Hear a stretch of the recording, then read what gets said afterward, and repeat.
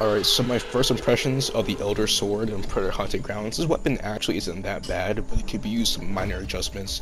Like, for example, uh, versus the normal wrist blades, this weapon could use some type of lunge. So as you can see right now, this weapon doesn't have much of a lunge. Uh, if you gave you the option between the normal wrist blades or the Elder Sword.